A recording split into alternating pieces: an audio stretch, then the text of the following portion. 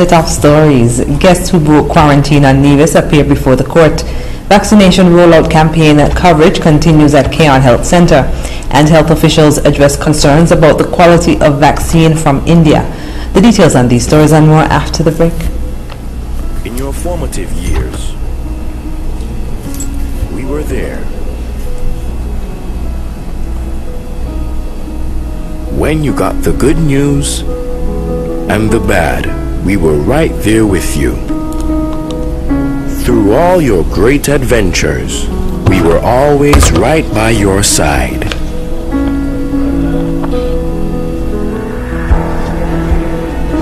Now that life has thrown us a curveball, we are still here.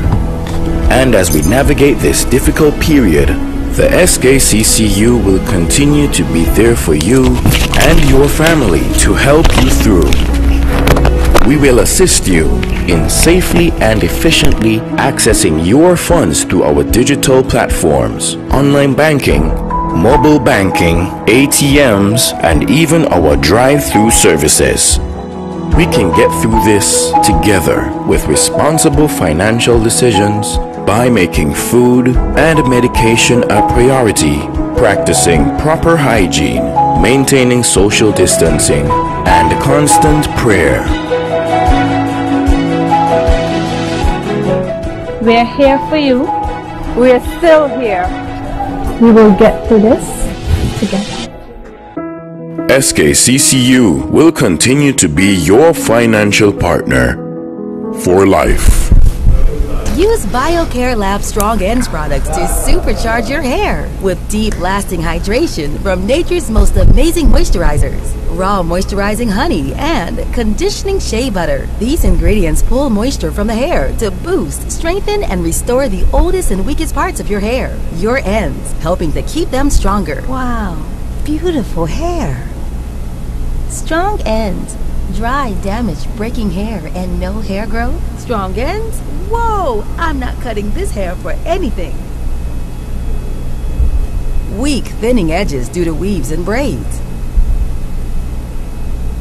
Strong ends? Longer and free of split ends.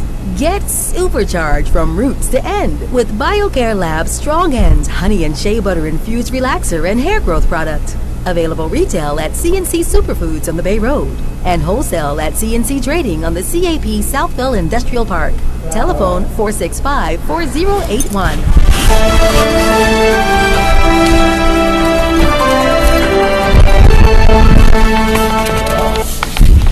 Hello and welcome to the ZIZ Channel 5 newscast. I'm Carla Berridge. The eight persons who breached quarantine on Nevis have been fined by the court. According to a police source, the eight guests who were staying at a resort which offered vacation-in-place services appeared at the Charlestown Magistrates Court and were fined 4,000 EC dollars each. ZIZ understands that all eight of them paid the fine and were scheduled to leave the Federation on Wednesday. ZIZ has also learned that the guests were tested this week and all returned negative results. Reports indicate that on Thursday, March 11th, two guests illegally left the resort's premises for approximately two hours. The second security breach took place after midnight on Saturday morning, March 13th, and involved six guests who also managed to leave the resort's compound without authorization as a result of these two security breaches and the fact that the eight guests may have come into contact with a number of local individuals at a night spot on Nevis, an aggressive contact tracing exercise has been started by the Ministry of Health. That night spot is now reportedly temporarily closed. St. Kitts Nevis has recorded another positive COVID-19 case, bringing the total number of positive cases so far to 44. Public Relations Officer of the Health Emergency Operations Center, Dr. Marissa Carty, made the announcement in Wednesday's National Emergency Operations Center COVID-19 briefing. The Ministry of Health would like to bring to your attention this evening that we have one additional confirmed case of COVID-19 within the Federation. This brings our total of confirmed cases to 44, with 30 cases in St. Kitts, 14 cases in Nevis. 42 cases have been fully recovered and there are currently two active cases. Positive COVID-19 cases are normally informed and kept in isolation. No COVID-19 related deaths have been recorded. As vaccinations continue at health centers across the Federation, ZIZ News visited the Cayon Health Center on Wednesday. Shanique Harvey has the details as ZIZ continues to follow vaccination efforts around the island.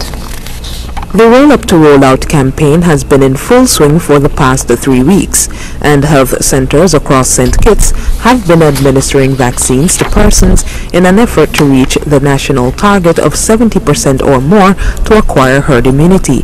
The Cayon Health Center started administering vaccines a week after the initial rollout, and community nurse manager Carmen Taylor said they only saw 21 persons at the start of vaccinations at the center. The COVID vaccine was rolled out at the Cayon Health Center on the 3rd of March 2021 and 21 persons were vaccinated on that day. Today completes our second week and we have immunized 168 persons. The majority of this population are 45 years old.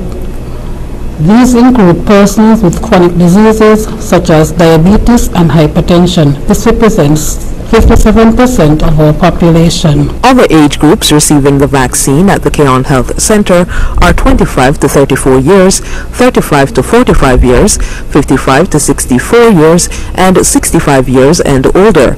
Nurse Taylor said she was pleased with the turnout of the 45 years and older demographic because they were the group that would be most at risk should they become infected with COVID-19. She also said the Cayon Health Center has seen an uptick in persons coming for vaccinations because people are becoming more informed.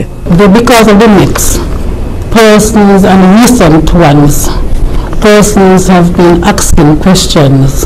And so with much edu- education, today we have a better response. Nurse Taylor explained that the center will not be able to accommodate persons on Saturdays because of staff shortage. She has said, however, house calls for vaccinations could be a possibility in the future as well as outreach. Reporting for ZIZ News, I am Shanique Harvey. Same components but different batches irrespective of the location made. That's what health officials are saying about the COVID-19 vaccine amid concerns about the batches from India.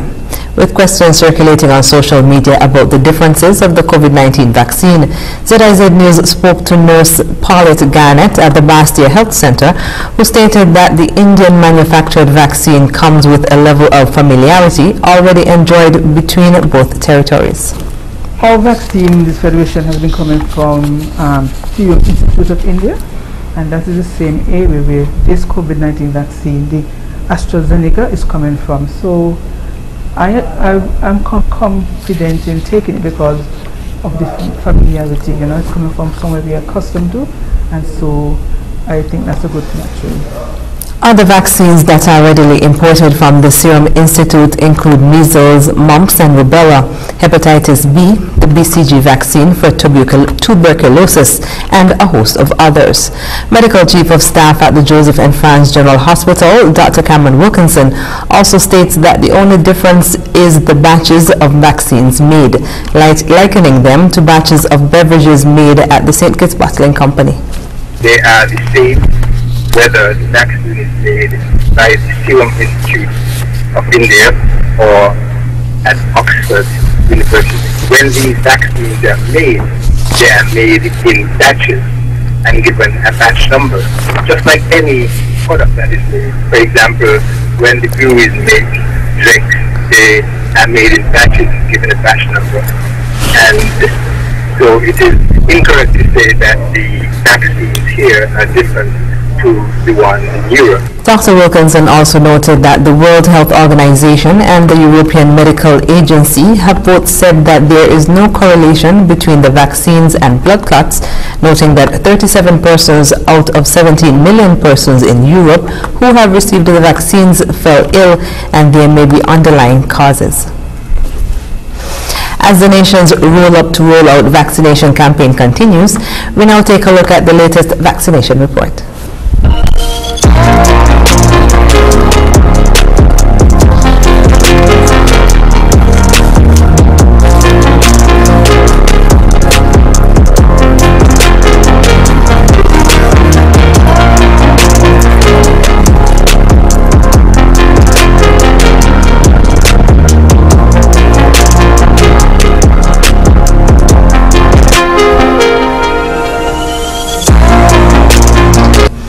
After the break, Federation finds new niche for film tourism.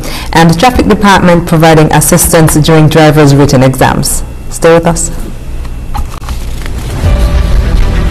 We are all essential in the fight against COVID-19. At Courts, we're doing our part and we encourage you to stay at home, stay safe and shop online at www.shopcourts.com. For other convenience, our Courts online customers will receive free delivery and get up to 20% off televisions, appliances, and homewares.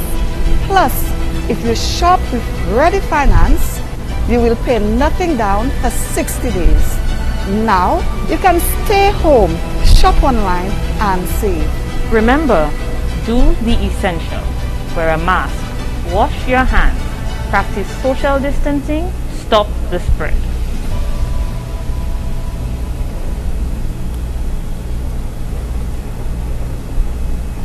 There is no better time to discover what your National Bank Visa debit or black cards can do. Mimi, what's that song?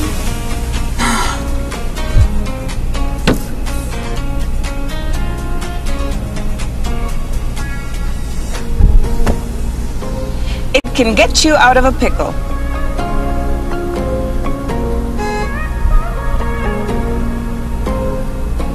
Using my National Bank Visa card is fast, secure, and convenient. Cashless SKN is our new lifestyle choice.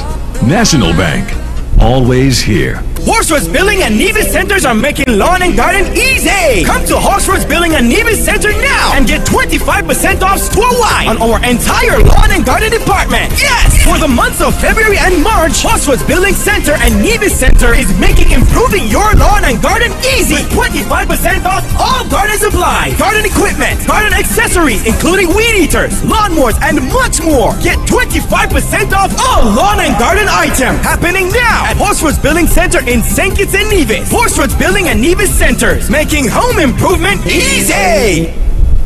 Get ready for an exciting year with Flow Broadband and TV connecting you at home. Sign up now and get a free Samsung tablet worth over $900. Up to 100 megabits per second blazing internet will keep everyone on top of everything every day. While Flow TV delivers the best home entertainment with the latest shows on demand in HD plus favorites you can record. Visit your nearest Flow store today to sign up for Flow Broadband and TV and get your free Samsung tablet. Conditions apply.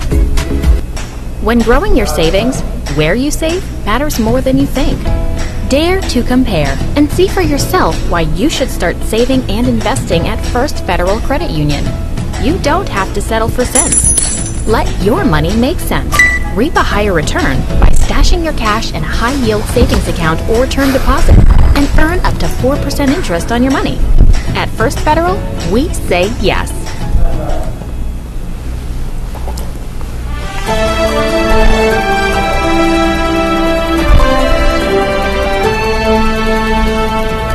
Welcome back. Prime Minister Dr. The Honorable Timothy Harris says while tourism and other sectors have been hit hard by the COVID-19 pandemic, there has been some good news for the economy in recent weeks. During his presentation on Tuesday night's edition of Leadership Matters, the Prime Minister pointed out that the Federation has found a new niche for film tourism. The Deck movie is being shot in St. Kitts and it has brought significant guests to the Park Hyatt Hotel, the Federation host hotel. Equally important for our Federation are the movies being produced by MSR on the island of Nevis and St. Kitts. Some six movies will be run by MSR in our Federation, boosting the favorable acclaim about St. Kitts and Nevis and most importantly, creating employment for our people.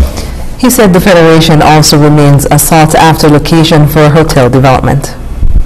Interest in our country as a premier hotel destination continues.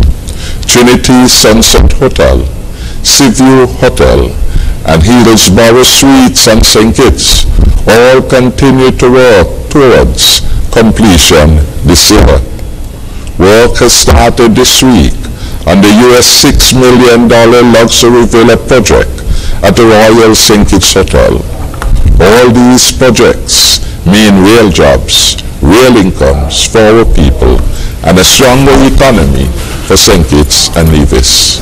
He also noted that so far 649 Ross University students have come to St. Kitts, bringing incomes for landlords, car rental agencies, restaurants and places of entertainment, thereby contributing to the national economy. Persons who are learning to become licensed drivers but may not be able to read as well as others should not feel disadvantaged when it comes to being able to sit the theoretical exam. The Traffic Department has made provisions to assist such persons should they be in need.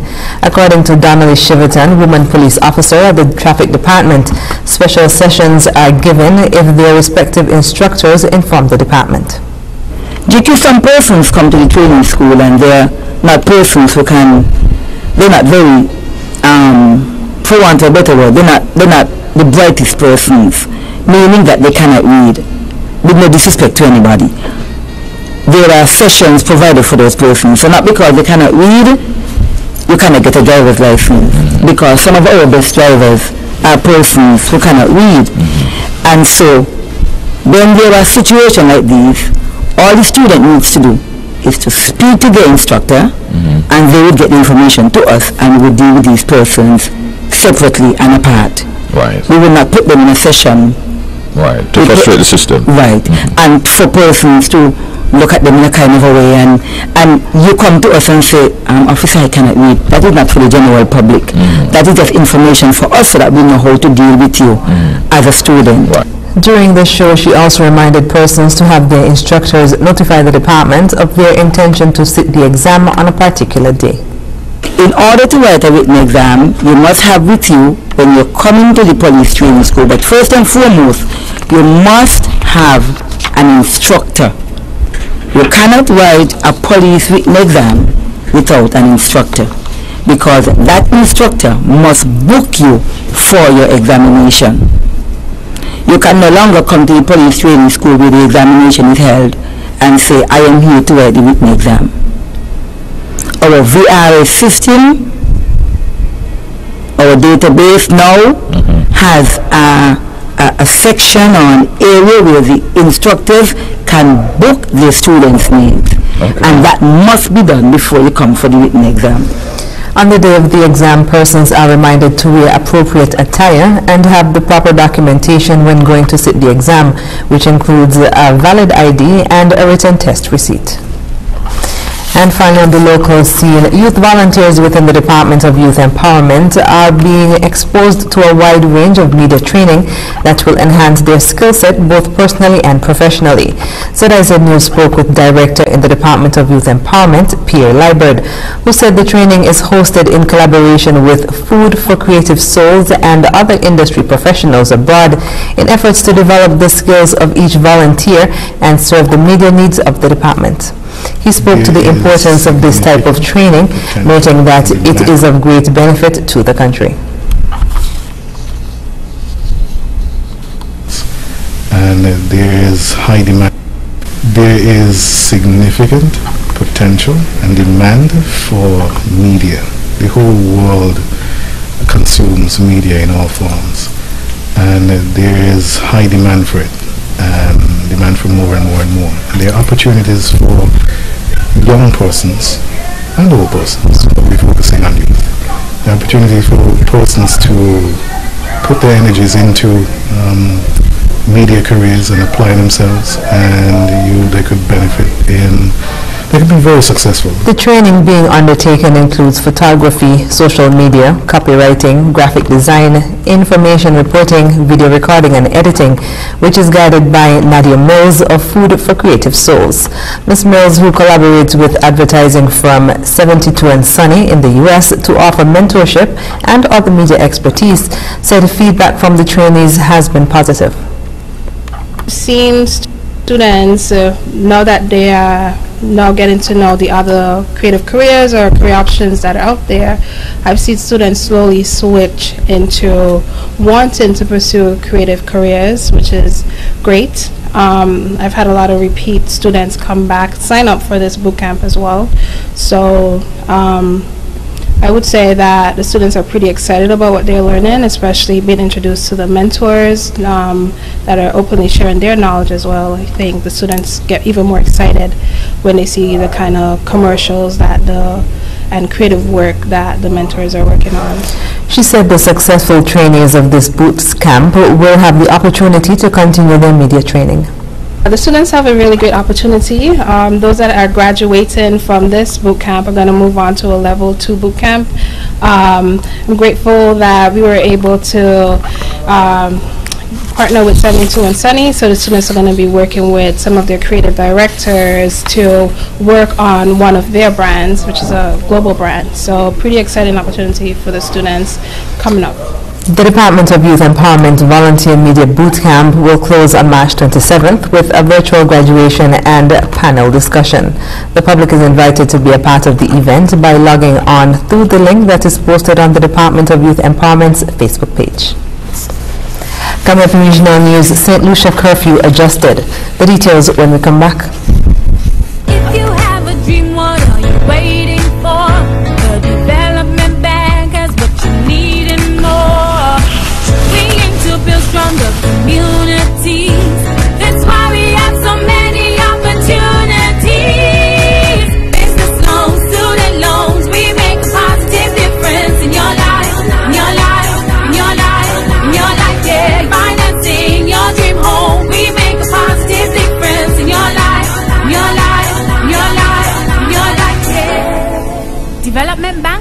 Kitts and Nevis. We make a sustained positive difference in your life. Everything's gotta go! Horsford's Automotive, everything gotta go clearance sale is happening now! All 2018, 2019, and 2020 models gotta go! Yes! Come to Horsford's Automotive and get $10,000 off select 2020 models! That's right! Horsford's Automotive is making room for 2021 by offering $10,000 off select 2020 models! And that's not all! Come now and get 0% down payment! No payment until May 2021! $500 in free groceries, free servicing for one year, free bill of sale, free tinting, free registration, free accessories, and free licensing. Horsford's Automotive, everything gotta go clearance sale. The biggest clearance sale event of the year. Select 2020 vehicles, price to go. Everything gotta go. Terms and conditions apply. See store for details. It takes a village to raise our children into productive citizens. and progressive communities It takes a village to provide support to our young people. who are going down the wrong path. and need family and community support. It takes a village to help our children who have made a mistake To take responsibility. and learn from their mistakes. It takes a village To actively help in the rehabilitation of our youth. to assist them in being productive. To reintegrate back into our communities. It takes a village To care about each other. To lift up our children. and make them into better adults. It takes a village to give our youths a chance for change. join the movement And give our children a chance for change. This message is brought to you by the USAID OECS Juvenile Justice Reform Project 2, funded by the United States Agency for International Development. For more information, log on to oecs.org forward slash JJRP.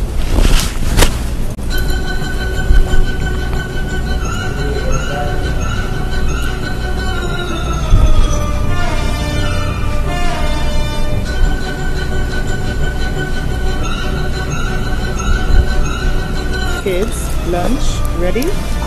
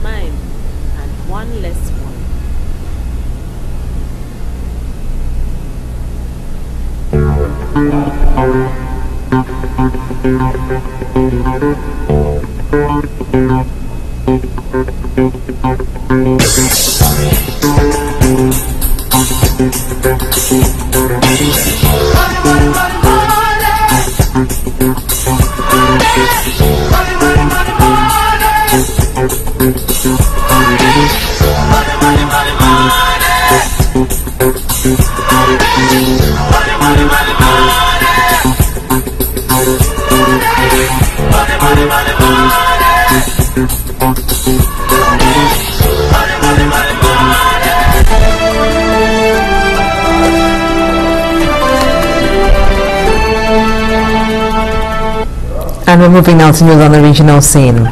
St. Lucia's Prime Minister Allen Chastanet is standing by the decision to shift the start time of the COVID-19 related curfew to 9 p.m. The government will temporarily revert to a 7 p.m. curfew during the Easter. The changes follow recent clashes between curfew breakers and the police in St. Lucia.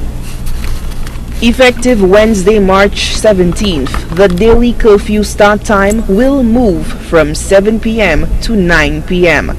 The announcement, based on advice from the command center and the government of St. Lucia, was made following a NEMAC meeting. However, the two-hour curfew extension will revert to 7 p.m. on Friday, April 2nd to 5th, 2021 during the Easter weekend. Prime Minister Allen Chastanet is defending the decision. Well, that's why during the Easter period we've gone back to the, the we've reduced the curfew back to seven o'clock during the Easter weekend. Um, and certainly we did not want to take any chances of the progress we've made so far. But we all have to accept that, you know, we cannot remain in lockdown, but that's not what the intention of my government is. We would like to see the kids get back to school. We would like to see as many businesses opened up as possible. But as I said, it, I keep on appealing to all of us in St. Lucia. We need all of us to be all in. This past week, curfew breakers clashed with law enforcement in Soufriere, Gros Islet, and Dennery events, which were all caught on camera. Irate residents of Barons Drive, Soufriere, pelted officers with missiles, forcing the abandonment of a patrol vehicle. Charges were later laid against numerous individuals implicated in the attack. Even those persons who still, even at this date, um, don't want to believe COVID exists, don't believe that the protocols um, uh, apply to them, um, we're just appealing to them just for the sake of the country, for the sake of your family and for your neighbors and for the rest of us. Please practice the protocols. Chastanet also responded to criticism leveled against him for using UWP media to announce the important amendments of the curfew. released the statement last week um, in relation to the new protocols on Sky FM rather than contro- the command center. We did it at the uh, um, uh, NEMAC meeting, um, and then there was a statement that was put out. Um, so it was just really an amendment of the protocols, and uh, there was no particular reason. I wasn't trying to diss anybody, but again, I, I say to all of the media houses, um, if you feel I'm, I'm avoiding you in any way, please invite me. I'm always willing to come on anybody's show. During the Easter weekend of April 2nd, the curfew will run from 7 p.m. to 4 p.m. and thereafter will revert to 9 p.m. to 4 a.m. It is left to be seen whether the new policy decision will work in the best interest of the nation while curbing COVID-19 transmission. Solange Alfred, HTS News Force.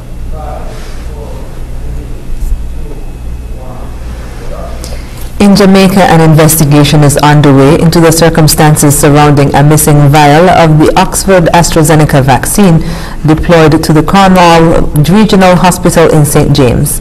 The regional director in the Western Health Region, Errol Greene, told CVM News they'll not be speculating whether the vial containing 10 doses of the vaccine was stolen or misplaced.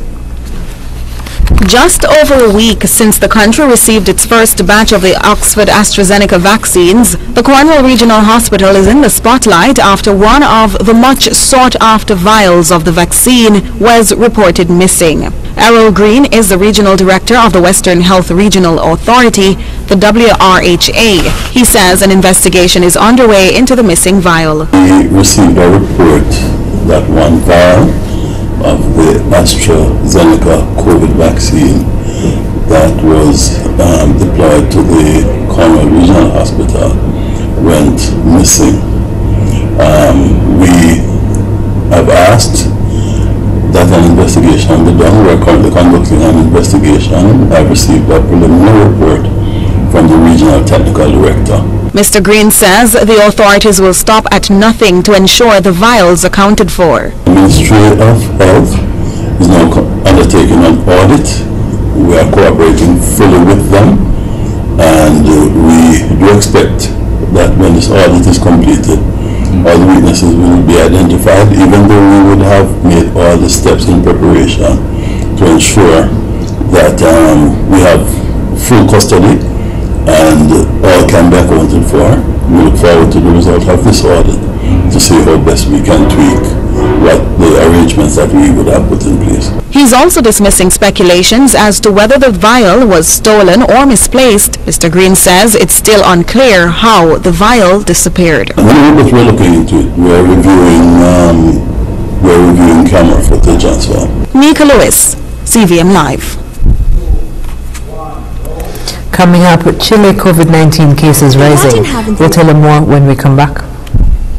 Imagine having the luxury of putting all your trust in one insurance company and being able to enjoy a life to the fullest without having to worry. Well, don't imagine. National Caribbean Insurance is here to take care of all your insurance needs. Insure your life, vehicle, boat, home, belongings, and your future. At NCI, we make it our business to ensure that you enjoy every stage in life. We serve, we protect, we satisfy. That's NCI.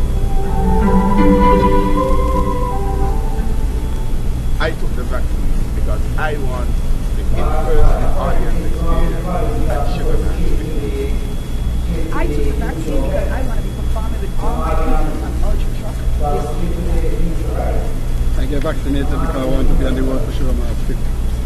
The reason I chose to be vaccinated is because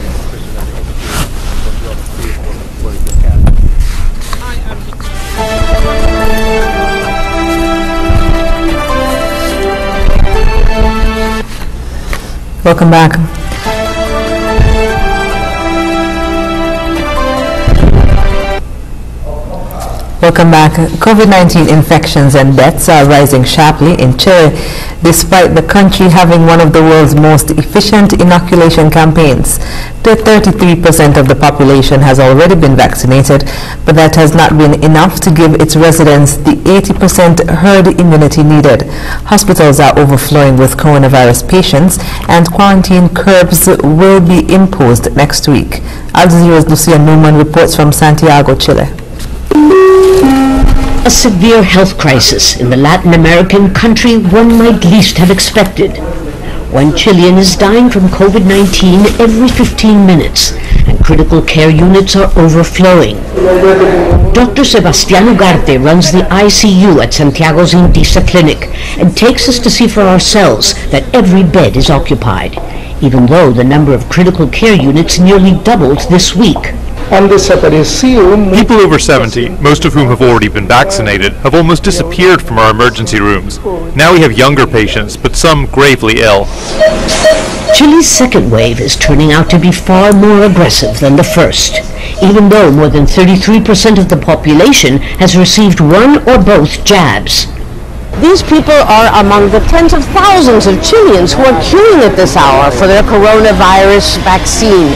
And while Chile is a world leader in terms of the percentage of the population that has already been inoculated, health officials warn it will not make much difference, at least not for some time. In order for herd immunity to be effective, 80% of Chileans must be fully vaccinated, and that won't happen for another three months. Our duty is to make the vaccine available to everyone, free of charge, and to convince you all that it's effective and safe. Back at the hospital, doctors and nurses concede they're exhausted. 30% of staff are on medical leave from illness or stress, and they're more difficult to replace than a bed or respirator. We caught our breath between the first and second wave, but the patient load never dropped enough to really let us recover. So here we are, practically living here. Nurse Matias Hernandez hasn't been able to travel home for nearly a year. It's very stressful. The patients are in a critical condition. There's no time to rest because the number of patients multiply faster than we do. But we do all we can.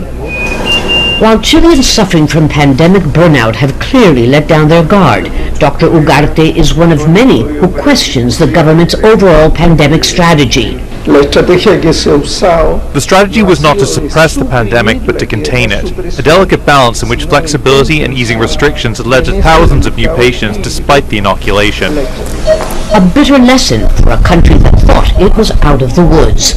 And a wake-up call for others who are counting on vaccines to be the magic cure.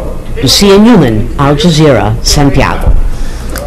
The first female U.S. Vice President Kamala Harris has made history by giving her first speech at the United Nations 65th session on the Commission on the Status of Women.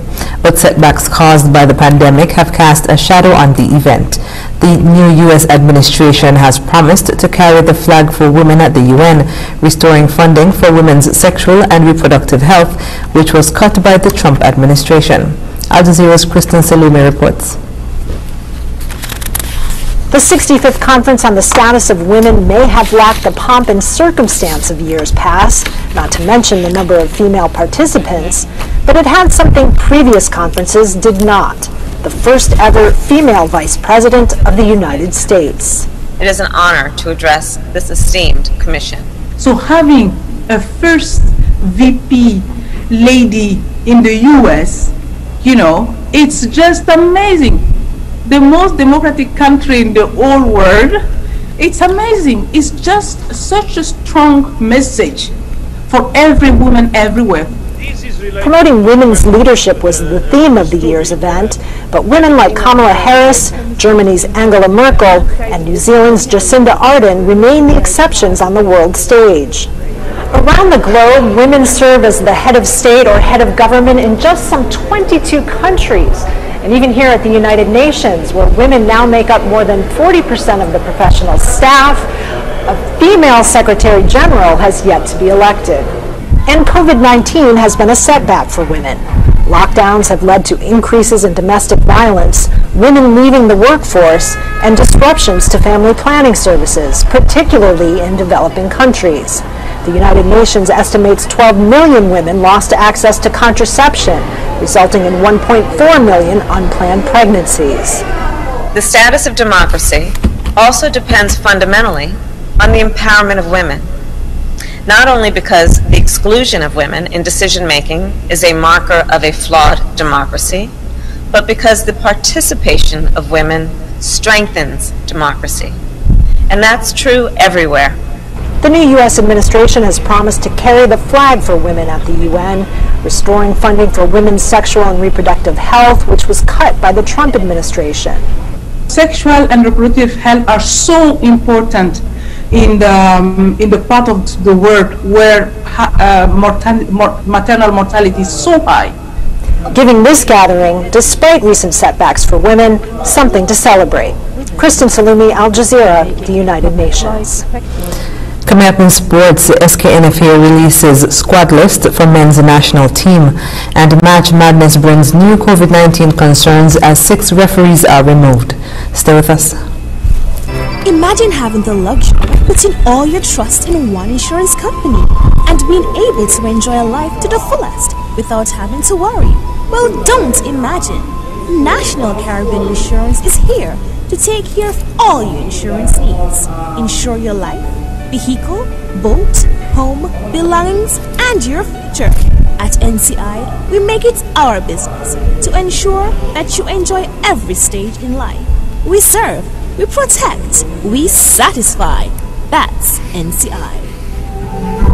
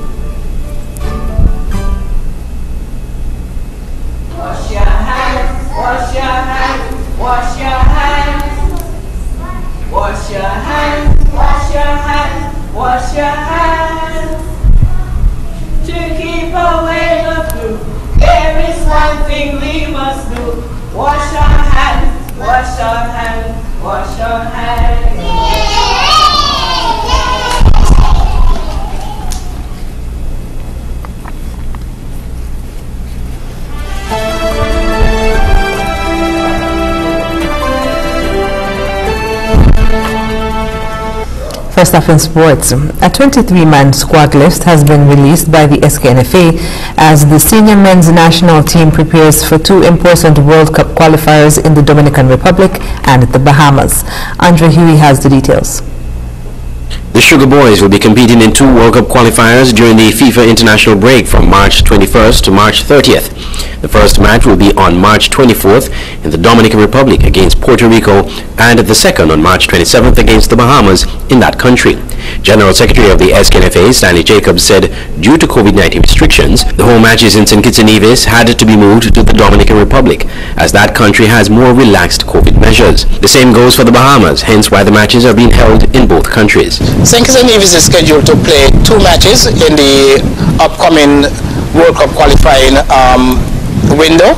St. Nevis is scheduled to play versus Puerto Rico on March 24th, and that match will take place in the Dominican Republic, and that will be the St. Nevis home match will take place in the Dominican Republic on the 24th of March, and then on the 27th of March, St. Kitts will play its away match in the Bahamas versus the Bahamas. Um, decision was made by the St. Nevis Football Association to ensure that the senior men's team has the best possible um, opportunity to win these two games and taking into consideration everything that is going on, not just the COVID-19 um, um, restrictions, but also having our best um, players available. Mr. Jacobs noted that there will be sufficient testing of the players and members of the technical team that will be traveling to these matches. And so we, we look forward to those matches. It has been a long um, planning process, um, taking into consideration the COVID-19 protocols and the strict COVID-19 protocols of the FIFA um, return to football protocol, ensuring that there's um, continuous testing from the point of departure from the home country testing prior to the match, testing after the match, and testing again prior to return to home country. There's a very strict um, schedule. At the SKNFA, we are in the process of putting together our COVID-19 risk assessment and also our COVID-19 risk mitigation strategy. And this is the strategy that the, the team, national team will employ as it um, compete in these two very important matches. The SKNFA has been working closely with CONCACAF and FIFA to ensure that the hosting of the matches adheres to the FIFA international match protocols. A 23-man squad for St. Kitts and Nevis has been released. These are Jelani Archibald, Zakis Smith, Clifford Samuel, Lois Maynard, Andre Burley, Raheem Francis, Dennis Fleming, Wardell Fleming, Ezric Nichols, Raheem Hanley, Gerard Williams, Theo Wharton, Raheem Somersall, Johannes Mitchum, Romain Sawyers, Harrison Panayutu, Tishan Hanley, Omari Sterling James, Vince Roy Nelson, Kimari Rogers, Rowan Liburd, Keith Roy Freeman, and Tahir Hanley. Head coaches Leo Nieva, assistant coach George Isaac, and goalkeeper coach Gerhard Bentham. Trainer Kenneth Douglas, physio Alistair James, Kitsman Leroy Sweeney and Roger Hendricks, Dr. Carlton Williams, Manager Jamira Claxton, and Head of Delegation Don Grant. Days before tip-off in March Madness, positive COVID-19 tests are rocking both the men's and women's college basketball tournaments. NBC's Gabe Gutierrez reports. This morning, college basketball is attempting to rebound from a pair of tough COVID calls as it tries to keep March Madness on track. The NCAA tells NBC News six of its officials have now been barred from working the tournament after one of them tested positive and five others were deemed exposure risks due to prolonged close contact. Among them, Ted Valentine, a ref for more than 30 years. We're always following our conference's guidelines, and we've always been testing. I mean, we've gone beyond the call of duty uh, just to keep respect to the game. Valentine says the refs arrived in Indianapolis on Sunday, but their hotel rooms weren't ready, so they were given permission to leave for food. We were all wearing masks. Uh, we were instructed that we could go to dinner together When they took the COVID test, one of them came back positive. With a field of 68 teams already set on the men's side, the NCAA isn't taking any chances. They don't want anybody to be locked out of this tournament. And the farther down the road we go, you know, first round begets the second round begets the Sweet 16, the higher the stakes get. On the women's side, a storied program will start the tournament without its legendary coach. UConn's Geno Auriemma is out for at least 10 days after testing positive for COVID over the weekend. It came as a complete shock to me, obviously, and to our medical staff. The university says the 66-year-old Hall of Famer got a second dose of the COVID vaccine just last week. Ariema says he has no symptoms and has been isolating at home. The Huskies team doctor says contact tracing found no team member had been in contact with Auriemma since last Friday and that all other close contacts have tested negative so far. I just need them to win two games so I can get down there and try to help out. The women's tournament is taking place in San Antonio, Texas, where there is no mask mandate. UConn is one of the number one seeds, correct? And they should win those two games that the hmm. coach wants them to as well. Gabe Gutierrez for us. Gabe, thank you. Hey, thanks for watching our YouTube channel. Find your favorite recipes, celebrity interviews, uplifting stories. Shop our favorite. And that's it for sports. When we come back, we'll have another look at the stories that made the headlines. To avoid getting the coronavirus, remember to wash your hands thoroughly and frequently before and after preparing food, after using the toilet or changing a diaper for a baby, sick person, or the elderly, after blowing your nose, and after leaving large gatherings or moving away from persons who appear ill. Encourage others to wash their hands and also use an alcohol-based hand sanitizer of 60 to 70% solution. Stay away from events having large gatherings of people. You can expose yourself to more possible infections in large groups. Also, avoid sharing cutlery, cups, glassware, etc. with others. Viruses can linger on these items and may be transferred this way. Avoid shaking and holding hands, and hugging or keeping an infected person in close proximity. This is a message from the Ministry of Health and the National Emergency Management Agency, NEMA. And wrapping up with a recap of the top stories. Guess who broke quarantine on Nevis appeared before the court. Vaccination rollout campaign coverage continued at Cayon Health Center and health officials addressed concerns about the quality of vaccine from India. And that's the end of the ZIZ Channel 5 newscast. Thank you for joining us. I'm Carla Berridge. Goodbye.